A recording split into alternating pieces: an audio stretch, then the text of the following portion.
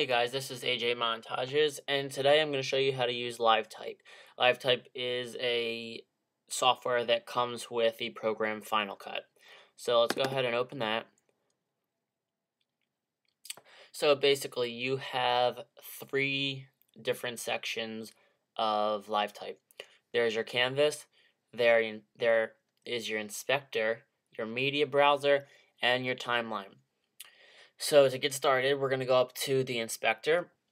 We're going to type AJ montages and we are going to highlight that.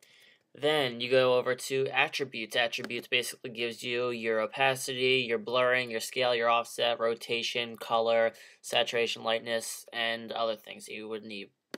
I'm going to go into colors and I'm going to choose lime green. I'm going to click out of that now. And basically, uh, AJ Montages has a fill color of lime green. Now I'm going to go over to effects. And let's see, I'm going to go to mechanical. And I'm going to choose a buzzsaw. Uh, that's uh, one of the effects. Okay, down here in your timeline, you want to make sure that all of your clips are lined up. If they're not, um, you will have things that go longer than other things, which you don't want. Remember though, this blue arrow down here must be at the end of your clips to line them up. Otherwise, your yellow arrow will just keep going, and your thing will not, and your um, arrow will never stop. And you want to turn off loop unless you want it, but for my purposes, I do not want it. Now I'm gonna push play just to see what it looks like. AJ montages comes up, perfect. Now, um, if you want a background, you can just keep this regular checkerboard background. I don't want it right now. You could go into File and Place or Place Background Movie. Right now, I'm not going to. Um, I'm going to go into Textures, and that will give me different things. I'm going to go into Categories. I'm going to choose Liquid for today. I'm going to, and then I'm going to choose Chocolate. Applying track again. Line your your frame up. Make sure they're all even. Line it up with the blue arrow. Now, in LiveType, you do not have a render um, button, so um, there's no real way to render it, but when you play it all the way through, it will render it for you, because right here you see it's splotchy green and red, but when you play it, it turns all green, and there's your movie that you had. Um, there's other things you can do. You can do objects and have uh, let's see, like a world. You can do this type of thing, or I like to go with nature most of the time, or um, business. Business is pretty cool.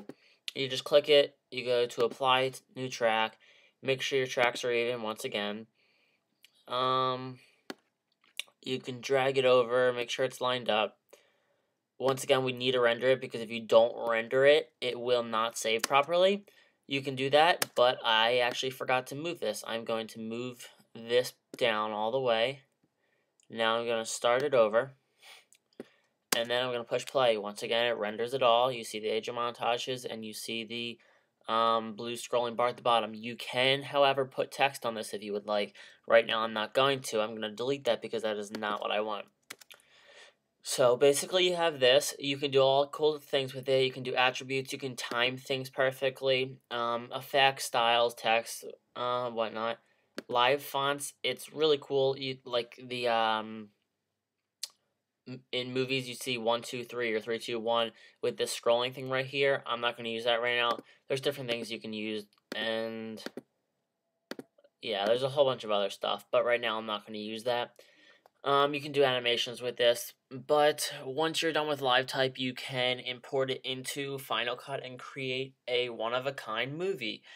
Um, once again, these backgrounds do move, so you can also place a background movie on there. Um, right now, I'm not going to do that. And you can obviously put other stuff in LiveType, excuse me, um, but you mainly want to use Final Cut for all your videos. So once I'm done this, I would go up to File and Save As. I'm not going to save it right now because I already have one. And that is basically it. Um, if you have any questions about um, live type, just write on my wall. And if you have any comments on other videos I should do or programs that I should do that I have, um, I will be coming out with a Final Cut Express video and a Aperture video, which are both having to do with pictures and moving pictures as well. Um, subscribe to my wall, post anything on my wall, any questions, um, just write on my wall and I'll get back to you. Thanks, and subscribe.